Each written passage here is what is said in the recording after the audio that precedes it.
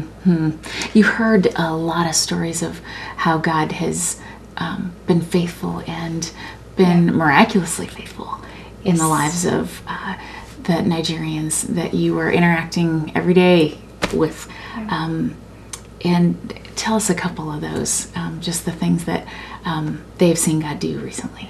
Yeah, um, uh, there are there are a lot of them, um, but uh, the the couple that that I spent some time with um, in in northern Nigeria, um, they have they have seen God move in in crazy ways, like uh, like.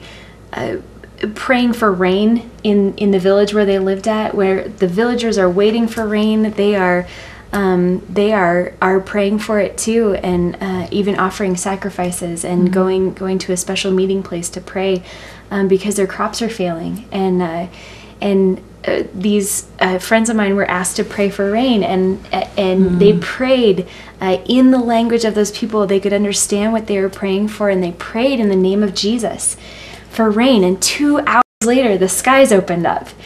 and um, stories about people being uh, being healed from diseases. Mm. There, um, there was a, a girl in this same village who was very sick and. Uh, and uh, the the village had basically uh, come to the conclusion that she was possessed by a demon, and her father uh, came came to these friends of mine, um, missionary friends of mine, and and asked them, uh, he said, I want you to pray to your Jesus to mm. heal my daughter.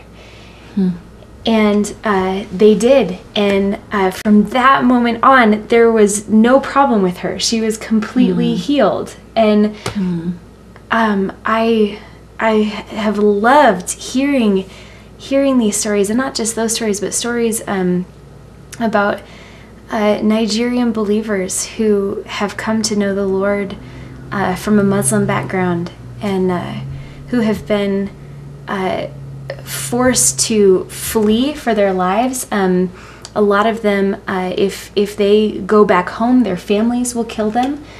Um, it's it's not safe to go back home, and so they run and they settle elsewhere, and uh, they are still persecuted in many ways, and they lose their homes and um, to hear them talk about their stories and about how, how God miraculous, miraculously showed up for them mm-hmm. in those stories. He protected them mm-hmm. and He strengthened them uh, when they needed it the most and took such good care of them, even in the midst of such suffering.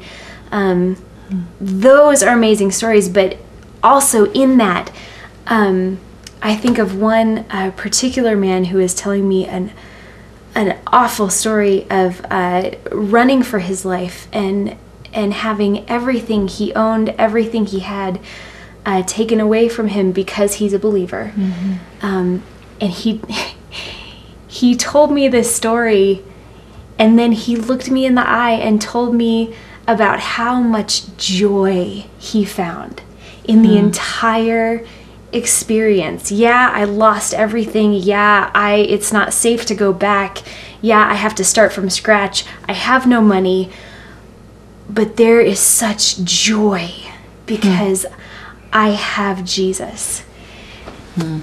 Um so so many stories, but um to this American Christian heart, um they were uh, they were incredible and hmm. and I will never never ever forget. Um, I I had I had a woman uh, come up to me after service at, a, at an itty bitty little bush church uh, out in in northern Nigeria, and um, in in the villages, uh, at least in a lot of villages in the northern states, um, the the village won't let the Christians live in the village. So they, they mm-hmm. push them out. Either you come in as a Christian or you become a Christian while you're mm-hmm. there. Um, they won't let you stay mm-hmm. inside the village. So they force you to to uh, to settle to build your house or whatever, put your family uh, somewhere outside.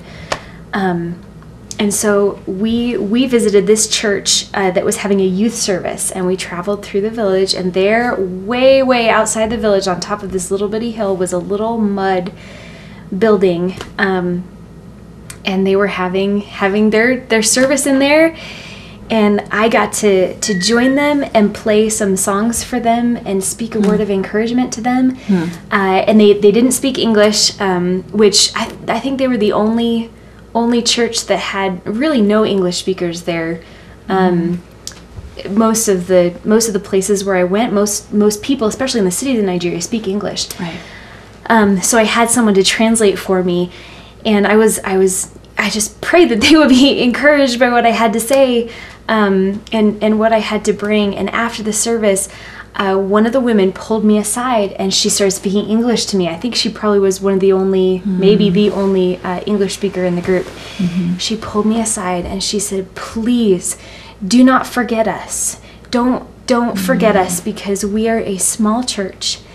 and we live among unbelievers and we um, it is hard. It's hard for us. Please pray for us and don't forget us. And um, and i won't